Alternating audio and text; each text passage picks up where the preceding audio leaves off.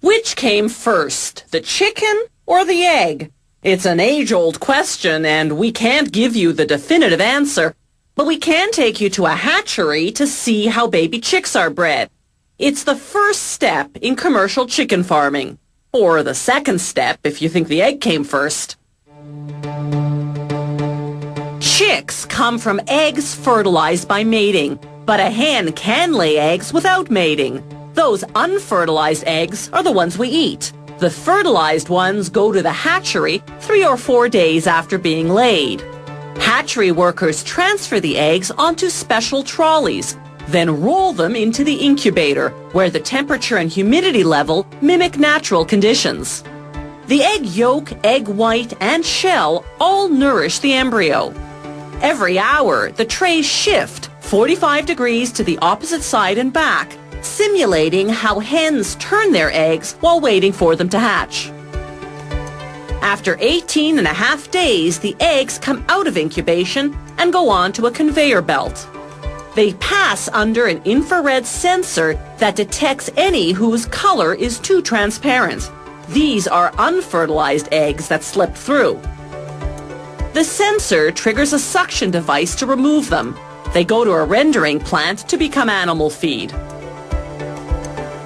The fertilized eggs continue along to the next station to be vaccinated against Marek, a poultry disease. Automated needles pierce a hole in each shell and inject the vaccine into the amniotic fluid surrounding the chick. Now a suction device transfers the eggs to hatching trays, 168 eggs per tray. About 150 of them can be expected to hatch. The rest died in incubation or have physical defects. Day 19. The chicks use their beaks to crack a hole through the shell, then a horizontal line all around. After six to eight hours, the chicks finally emerge from the shell. They're covered in short feathers called down, and they're able to walk and see. After about four hours, their down has dried. Now workers roll the chicks to what's called the separator, a machine that separates the birds from the shell halves. The shells are larger than the chicks, so they stay on top while the chicks fall down to a conveyor belt below.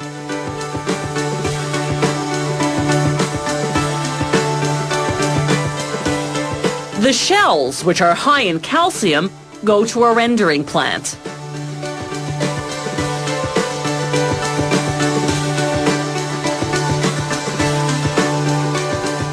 The chicks move on to be classified according to gender.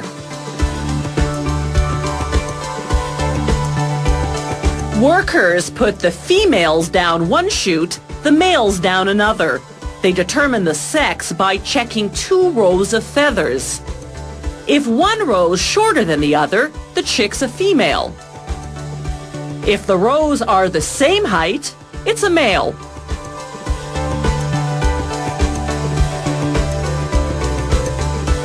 Each chute feeds a separate conveyor belt. An optical counter tracks the number of males and females.